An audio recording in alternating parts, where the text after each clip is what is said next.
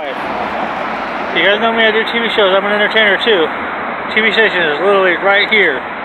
Now I gotta go to work. I, I mean, I work six days a week. I can't get a downtown on Sunday, so I figure out ways to get to work and to work with, you know, doing work and then also doing the TV and entertainment stuff. So I do stuff early in the morning. It's cool, the TV station is like literally right there. Here we go, going across the street. So at 9 o'clock in the morning is when I do my shows and edit and etc. etc. Because timing is pain, and then you know sometimes you know if I do stuff after four or whatever, I get tired and want to go home. so yeah, life of an entertainer is I am walking. A block away is where I work. Right over that way is a block away.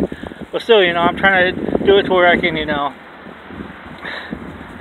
you know, I'm, I'm, my, I'm a number. I try to be a number one dad. I try to be a great dad, and try to have family time. You know, I have family time after I get off work, so gotta have a little bit of entertainment time. So what I do is do stuff in the mornings. I got like do studio dates in the mornings. I get exhausted, but you know, you gotta do what you gotta do. you know, I love to entertain people. So today we ended up editing three shows. We're gonna do just two.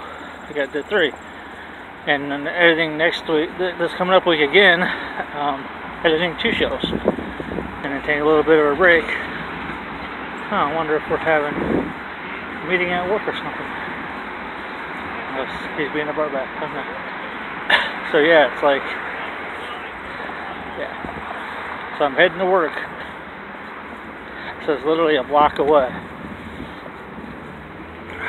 So I gotta do what I gotta do to make time for the entertainment world too, and then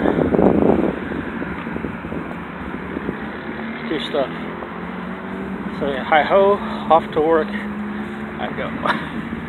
so it's cool, I can go in at 11 or 12, but since I edited today, 12.